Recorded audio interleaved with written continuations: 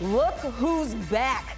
Joel Embiid made his much anticipated return to action Tuesday night, taking on the Thunder, his first game back since January 30th after undergoing surgery to repair a torn meniscus. The Sixers officially made him available about 30 minutes before tip off and there wasn't much drop off as the former MVP dropped 24 points on 6 of 14 shooting, 6 boards, 7 assists, 3 steals, and 6 turnovers in 29 minutes of work. The Sixers went 11 and 18 without him and dropped to 8th in the Eastern Conference standings.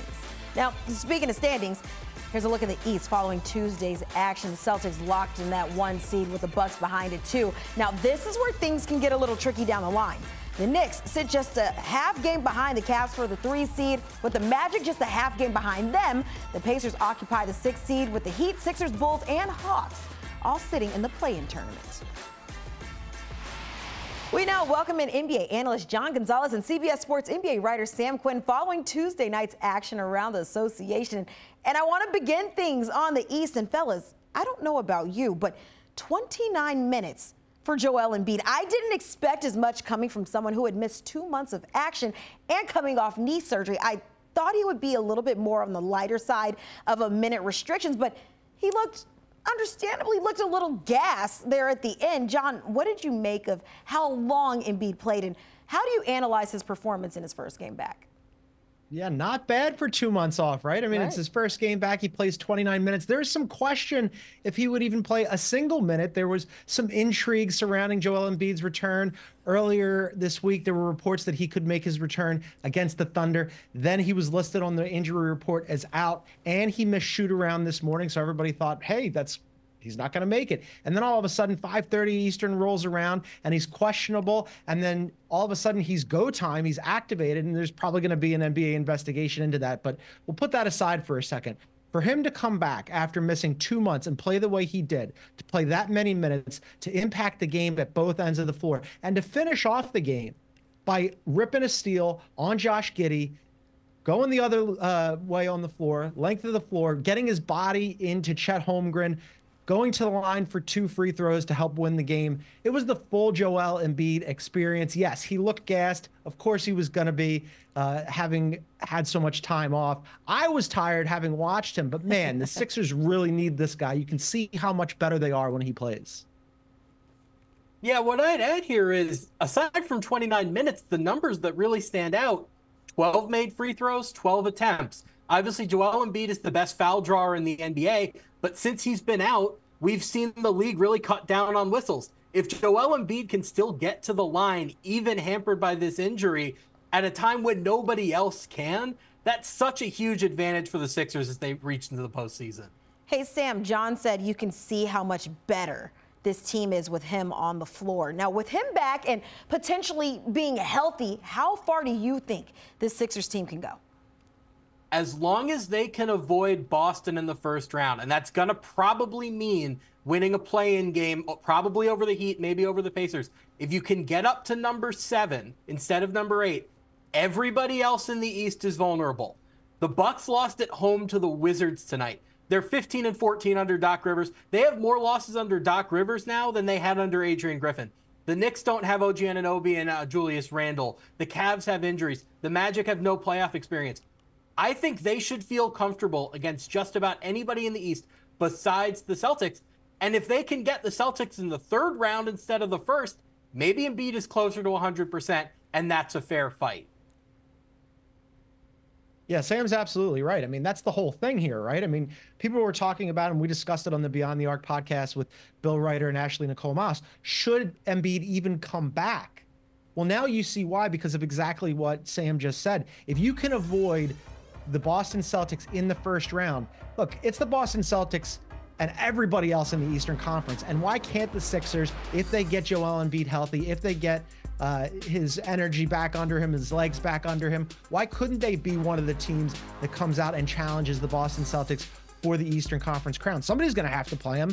And you saw tonight what an impact Joel Embiid makes against a very good Oklahoma City team. Now, obviously, they didn't have SGA and Jalen Williams, but still, still a very good team. So, yeah, that's what the Sixers are thinking here. That's why they wanted to get him back before the end of the regular season. And that's why they're hoping that he'll be ready to go for the postseason. Yeah, impactful, I think, is a perfect word to use. But I think looking down this stretch, and as you guys say, if they can see maybe Boston in the third round, health is going to be very, very key in what they do and if they are facing the Celtics. But guys, let's switch gears and head to the Western Conference. The Nuggets managed to hang on and defeat Victor Wembanyama and retake the top seed in the West. Following the win, though, they are now leading by a half game over both the Thunder and the T Wolves. Now, looking at what lies ahead, six more games on the docket, including a matchup against the Clippers on Thursday, a meeting with the Wolves, and a final meeting with San Antonio. John, do you think they can finish the regular season with that one seed?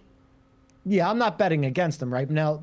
Those three teams at the top of the Western Conference, the Nuggets, the Wolves, and Oklahoma City Thunder, have really just leapfrogged each other all season long. So right now it's the Nuggets. I certainly wouldn't bet against them, as I said, because they are the defending champions and they do have the best player in the world. And not for nothing. I mean, they've done the last couple of games without Jamal Murray, and that two-man game is really killer for them, uh, especially in the fourth quarter. So they're going to want to get him back as soon as possible. But yeah, I think that the Nuggets are the favorites right now, especially with you know the Thunder missing, as I mentioned, SGA and Jalen Williams tonight, and then you know the Wolves still trying to keep their head above water, and they have without without KAT, they've gone eight and four. So, yeah, I think it's still the Nuggets right now.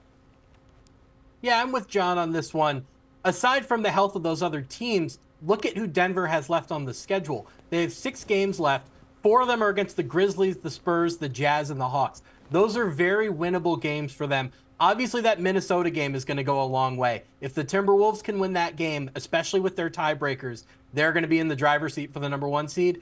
But Denver has six games left, and we can right away say four of them are probably going to be wins. If you're starting at 4 and 0, you're probably in pole position here.